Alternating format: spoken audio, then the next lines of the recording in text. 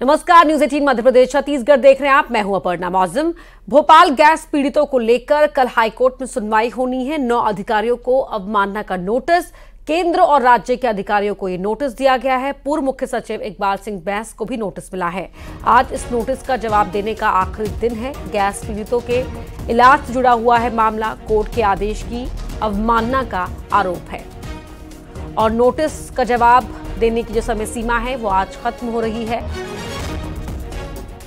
Bhopal gas पीड़ितों को लेकर कल हाईकोर्ट में सुनवाई होनी है। नौ अधिकारियों को कोर्ट की अवमानना के नोटिस के मामले में जवाब देना है और आज जवाब देने की डेडलाइन खत्म हो रही है, यानी कि आज आखिरी दिन है जवाब देने का। केंद्र और राज्य के अधिकारियों को ये नोटिस मिला है, जिसमें पूर्व मुख्य सचिव इकबाल सिंह बैस भी शामिल हैं। गैस पीड़ितों के इलाज से जुड़ा हुआ ये मामला है। कोर्ट के आदेश की अवमानना है। शैलेंद्र हमारे सहयोगी हमारे साथ लाइव जुड़ रहे हैं। शैलेंद्र नोटिस देने की समय सीमा आज खत्म हो रही है। इस मामले को लेकर क्या हलचल, क्या अपडेट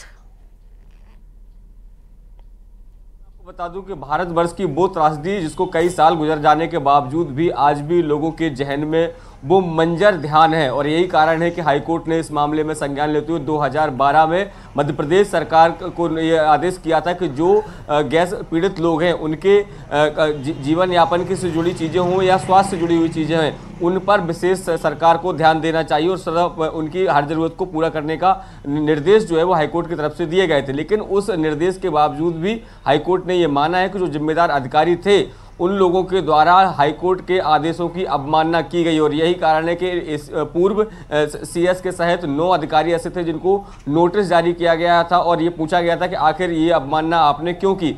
उस अवमानना नोटिस का आज आखिरी दिन डेडलाइन है, जब उनको जबलपुर हाईकोर्ट में आज अपना जवाब पेश करना और कल इस मामले में सुनवाई होनी है। हाईकोर्ट ने जब इन लोगों को नोटिस जारी किए तो साफ़ तौर पर उसमें लिखा है कि कोई भी वाजिब कारण फ़िलहाल इस तरह का सरकार की तरफ़ से नहीं दिया गया है कि आखिर ये हाईकोर्ट के निर्देशों की अवमानना क्यों की गई। जो लोग एक त्रासदी का शिकार हुए थे, उन लोगों के स्वास्थ्य को लेकर या फिर दूसरे अन्य जो उनकी सुविधाएँ थी, उनका ध्यान सरकार ने क्यों नहीं रखा है? तो कहीं ना कहीं जो जिम्मेदार अधिकारी थे, उनको इस पूरे मामले में दोषी माना है और पूर्व सीएस सहित जो नौ अधिकारी हैं उनको नोटिस दिया और आज उस नोटिस जवाब देने का आखिरी दिन है। अब देखना होगा कल जिस जब इस मामले में जबलपुर हाईकोर्ट में सुनवाई होती है तो किस तरह के तथ्य जो है वो जो अधिकारी थे उन, उनकी तरफ़ से रखे जाते हैं सरकार की तरफ़ से रखे जाते हैं और उसके उन सबको सुनने के बाद हाईकोर्ट अब अगला निर्णय क्या लेता है? जी। बहुत शुक्रिया आपका इस पूरी जानकारी के लिए।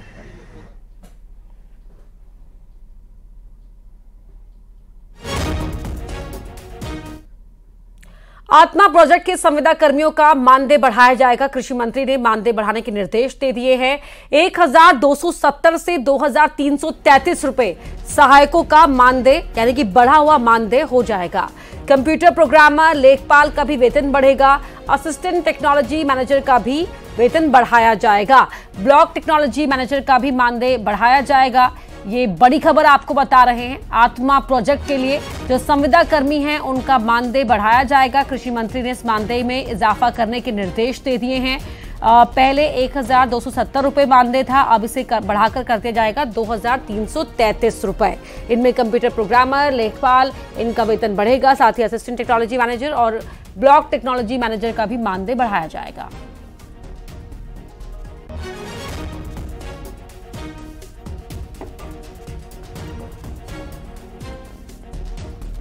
तो कृषि मंत्री ने मानदेय बढ़ाने के निर्देश दे दिए हैं। बड़ी खबर आपको बता रहे हैं दो रुपए का इजाफा हो जाएगा आ, बढ़े हुए वेतन के बाद मतलब इतना इनको मिलेगा अब। शैलेंद्र भदौरिया हमारे साथ जुड़े हुए हैं हमारे सहयोगी। शैलेंद्र मानदेय बढ़ाया जाएगा संविदा कर्मियों का अच्छी खबर उनके लिए? बिल्कुल निश्चित तौर पर जिस तरीके से चुनाव के समय भी जो तमाम संविदा कर्मचारी थे उनके द्वारा सरकार से मांग की गई थी कि वो लंबे समय से एक ही वेतनमान पर काम कर रहे हैं। तो ऐसे में अब सरकार जो है वो एक एक करके विभिन्न विभागों के संविदा कर्मचारियों की वेतनमान में वृद्धि करने जा रही है और यही कारण है कि सबसे पहले कृषि विभाग के आत्मा प्रोजेक्ट को लेकर अभी निर्देश जारी कर दिए गए जल्द ही जो है वो आदेश भी जारी हो जाएगा। तो तमाम जो सहायक अमला है, वो सबके जो मानदेय है, उसमें बढ़ोतरी जल्द ही की जाएगी और उसके बाद जो दूसरे डिपार्टमेंट है, उनके भी जो संविदा कर्मचारी हैं, उनको भी धीरे धीरे करके उनकी भी जो वेतनमान है, उसको बढ़ाने का काम सरकार आने वाले दिनों में कर सकती है। जी। बहुत शुक्रिया आपका इस जानकारी के लिए।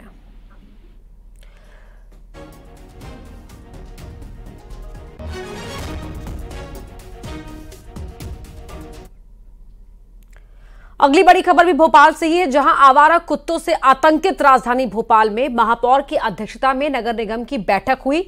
बैठक के बाद महापौर मालती राय ने कहा कि पेट लवर्स के साथ कई बार सहयोग के लिए कहा गया। उनसे बातचीत करने की भी पेशकश रखी गई।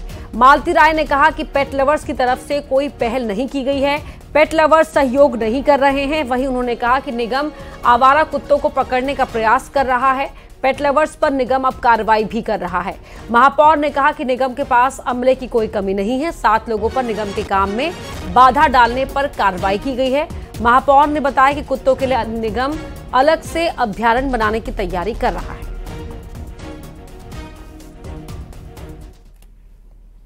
के प्रेमियों से, पशु प्रेमियों से मेरा आग्रह है कि हम पशुओं से प्रेम करें। और यदि हम प्रेम करते हैं तो उनके, उनको अपने घर के अंदर बाँध कर रखें, या हम पिंजड़ा बना लें, उस पिंजड़े के अंदर रखें, ताकि वो दूसरे मनुष्यों को भोपाल में रहने वाले, हम पशु से प्रेम करते हैं और मानव को नुकसान पहुंचवा रहे हैं। आपको हम यदि अभी एक रिकॉर्डिंग दिखाए तो उसमें नगर निगम के कर्मचारी, आपको जानकारी होगी कि उनके पिंजड़ा जो रहता है, जिसमें वो डॉग को पकड़ते हैं, लगभग 10 से 20 किलो का वो पिंजड़ा रहता है। उसको लेकर डॉग जितनी तेज दौड़ता है, उतनी तेज वो दौड़कर उस डॉग को पकड़ते हैं। और पकड़ने के बाद जब गाड़ी पे लेकर पहुँचते हैं तो वहाँ डॉग ये जो लवर्स आकर, प्रेमी आकर, और ये कंडीशन करते हैं कि उस पिंजड़े में से, ये देखिए, ये पिंजड़े में से और उसको निकलवा देते हैं। तो हाँ ये अभी हमने ये मंगवाए हैं ये देखिए यंग लोग हैं। और ये यंग लोग भोपाल को सहयोग करना चाहिए किसी अनहोनिया जो हो रही है उसकी जगह अनहोनिया बढ़ाने में सहयोग कर रहे हैं। प्रशांत कटारे हमारे सहयोगी भोपाल से हमारे साथ जुड़ रहे हैं। प्रशांत बड़ा सवाल ये उठ जाता है कि जिस तरह से हम निगम पर या अधिकारियों पर सवाल खड़े कर देते हैं कि वो कोई कार्रवाई नहीं करे लेकिन यहाँ महापौर ने साफ़ कर दिया कि कुछ पेट लवर्स ऐसे हैं जब जब कार्रवाई की बात होती है तो वो हंगामा तो खड़ा कर देते हैं लेकिन सहयोग करने के बजाय बैठक में आने के बजाय वो हंगामा करना ही उचित समझते हैं।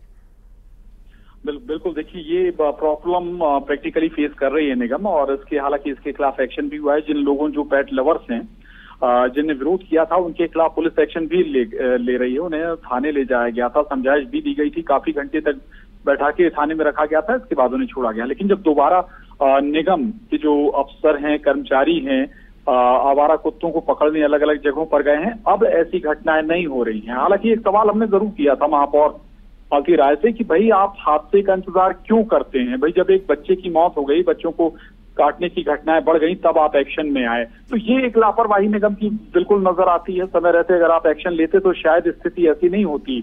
आवारा कुत्तों की समस्या कोई नई नहीं है शहर में। शहर में आवारा कुत्ते लगातार हैं और लगातार कॉलोनियों में ऐसे हादसे होते हैं, लेकिन जब घटना बड़ी हो जाती है, तब निगम अमला जागता है। ये एक बड़ी परेशानी है। ठीक बात है। पेट लवर्स को समझाना ज़रूर ज़रूर चाहिए।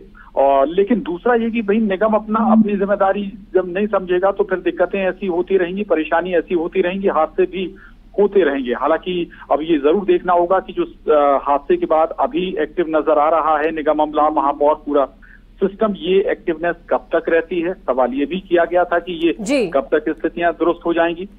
बताया गया कि एजेंसियाँ एजेंसियों को काम तो निगम ये कह रहा है कि लगातार वो काम पर लगा हुआ है। कब तक ज़मीन पर वो परिवर्तन दिखाई देता है उसका इंतज़ार हर किसी को है। बहुत शुक्रिया प्रशांत आपका इस जानकारी के लिए। बढ़ते आगे बात सतना की कर देते हैं, जहाँ सीएम डॉक्टर मोहन यादव पटना खुर्द गाँव पहुँचे। भारत विकास संकल्प यात्रा में शामिल हुए और सीएम ने इस यात्रा में शामिल होते होने के दौरान कहा कि सब रामलला मय है। आज रामलला का मंदिर बन रहा है। मुस्लिम भाइयों ने भी समर्थन किया है। हालाँकि इस प्राण प्रतिष्ठा कार्यक्रम में जो शामिल होने से कांग्रेस ने इनकार किया, उसके लिए यहाँ पर सीएम डॉक्टर मोहन यादव ने कहा कि कांग्रेस पूरे देश से माफ़ी मांगे। हिंदू समाज से कांग्रेस को माफ़ी मांगनी चाहिए।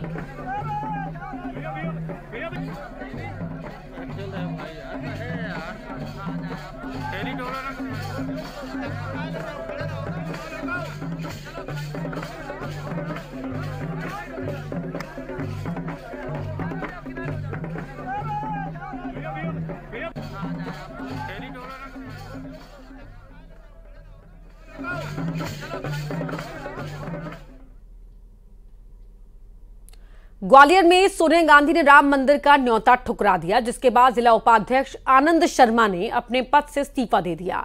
शर्मा ने राम मंदिर प्राण प्रतिष्ठा के न्योता ठुकराने को अपने इस्तीफे की वजह बताया। वहीं कांग्रेस छोड़ते ही आनंद शर्मा ने बीजेपी ज्वाइन कर ली। मुखर्जी भवन में बीजेपी के पदाधिकारियों ने शर्मा को पार्टी की सदस्यता दिलाई। न्यूज़ एटीन से खास बातचीत करते हुए शर्मा ने कहा कि जो राम का नहीं, वो देश का नहीं।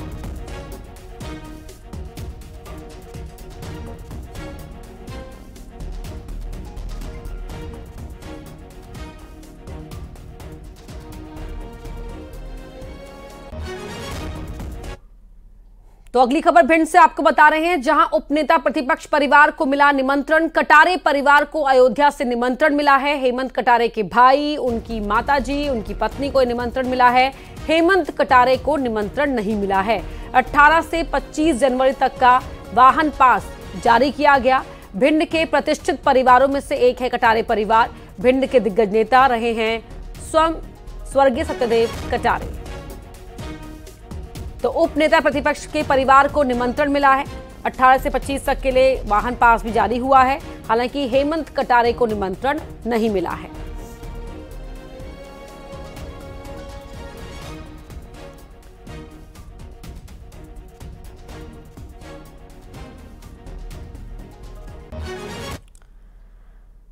अगली खबर अनूपपुर से आपको बता